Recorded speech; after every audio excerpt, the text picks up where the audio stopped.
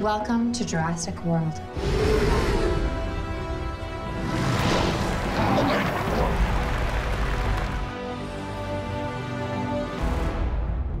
My goal with this movie has always been to make sure that Jurassic World felt like a real place.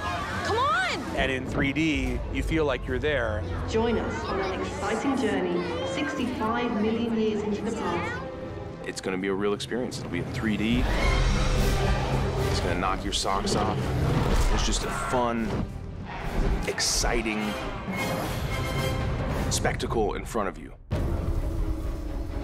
Part of the joy and the thrill of these movies is to have moments like the Indominus Rex getting right up in your face. You have pteranodons flying past your head and the Mosasaurus coming out of the water. It's a mosasaurus! Feeling like it's gonna bite you in half. These things pull you in.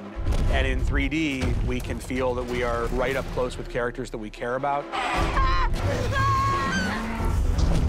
And I know that when they're put in horrible danger, you're gonna care about them that much more. For us, it was about creating the most visceral, immersive experience possible, and this kind of technology really does what I hope the whole movie does, which is make everyone in the audience, regardless of their age, feel like they're kids again.